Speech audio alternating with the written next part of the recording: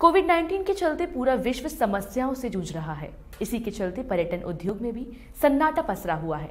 आपको बता दें कि पर्यटन जगत की चिंता को लेकर बीजेपी प्रदेश मंत्री विजय शिवहरे मीडिया से मुखातिब हुए, जिसमें उन्होंने जनता से खुद को सुरक्षित रखने, साथ ही मास्क और सैनिटाइजर का प्रयोग करने की अपील की। सात अजूबों वाला शहर आगरा जो पूरी दुनिया में जाना जाता है। हमारी आन बान और शान जो हमारी धरोहर, हमारी संपत्ति, ताजमहल, आज कोरोना जैसी महामारी का शिकार हो गया है, जिसका सबसे ज़्यादा प्रभाव पर्यटन नगरी पर पड़ा है। आगरा शहर के होटल मालिक और रेस्टोरेंट्स या जितने भी पर्यटक से संबंधित काम है, कहीं ना कहीं प्रभावित नज़र आ रहे हैं। जिनको उभारना अभी संभव नहीं है, क्योंकि अभी तक सारी ट्रेन और अंतर्राष्ट्रीय फ्लाइट्स बंद हैं। विजय शिवहरे प्रदेश मंत्री बीजेपी ने मीडिया से मुखातिब करते हुए बताया कि कोविड 19 की वजह से पूरे विश्व जगत की क्षति हुई है, जिसकी भरपाई अभी शायद मुश्किल है। पर्यटन जगत को उभारने के लिए अभी बहुत समय लगेगा। विजय शिवहरे भी पर्यटन क्षेत्र से जुड़े हुए हैं। विजय शिवहरे ने देश की जनता से अपील की कि अपने आप को सुरक्षित रखें, मास्क का उपयोग करें और देश की कोरोना गाइडलाइन का पालन करें। आप होटल मोती पहले तो व्यक्तिगत मेरे होटल इसकी बात कर रहे हैं, मैं आगरा की बात करूँ।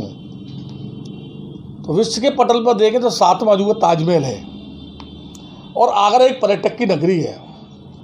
कोविड नाइन्टीन के कारण पर्यटक का ना आना और इस टूरिस्ट इंडस्ट्रीज़ को उजड़ना दुर्भाग्यपूर्ण है। क्योंकि तो वैश्विक महामारी के अंदर सरकार भी इसमें कुछ नहीं कर सकती।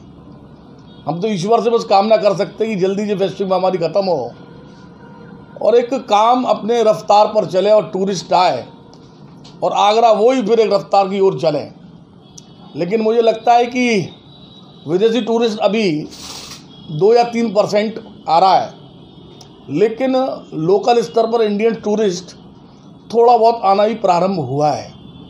क्योंकि ताजमहल के अंदर भी ऑनलाइन टिकट होने के कारण उसमें भी थोड़ी सी परेशानी ये है कि वो टूरिस्ट को जो टिकट उपलब्ध होनी चाहिए जिनको जानकारी नहीं है तो वहाँ से वो लौट कर जा रहा है।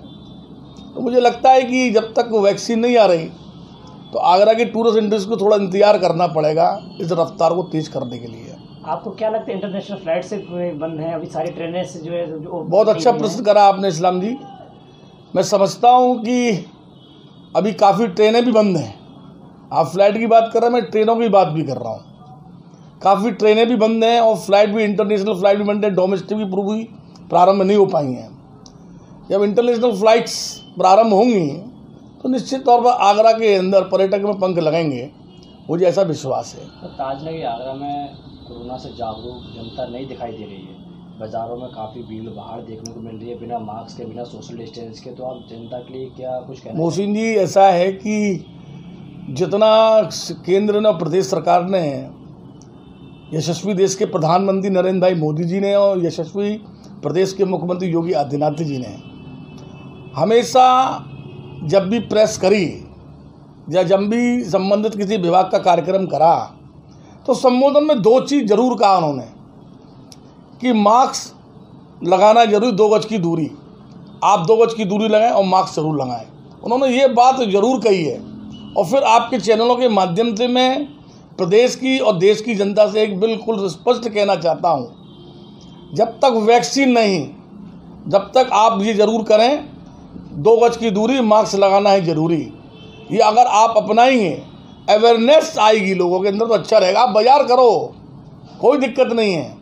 लेकिन मास्क ज़रूर लगाएँ और दो गज की दूरी रखें। और साथ में इस त्यौहार के अवसर पर मैं इतना ही कहना चाहता हूँ सब देशवासियों से, प्रदेश के वासियों से, कि सावधानी के साथ अपने त्यौहार को बनाएँ और कोविड नाइन्टीन के नियम को पालन करें। बहुत बहुत धन्यवाद।